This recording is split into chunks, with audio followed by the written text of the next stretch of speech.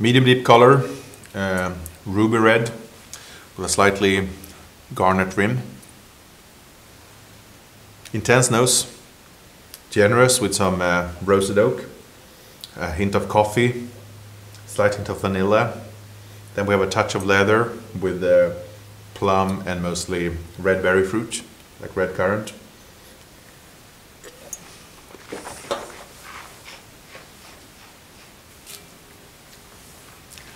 Palate has um, quite good density.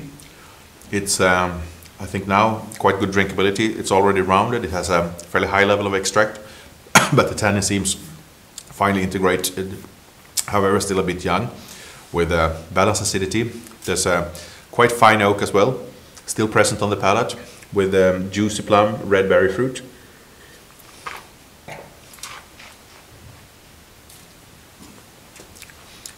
Good density of fruit, um, quite long finish, persistent with um, potential for further development, but I would still call it quite drinkable already today.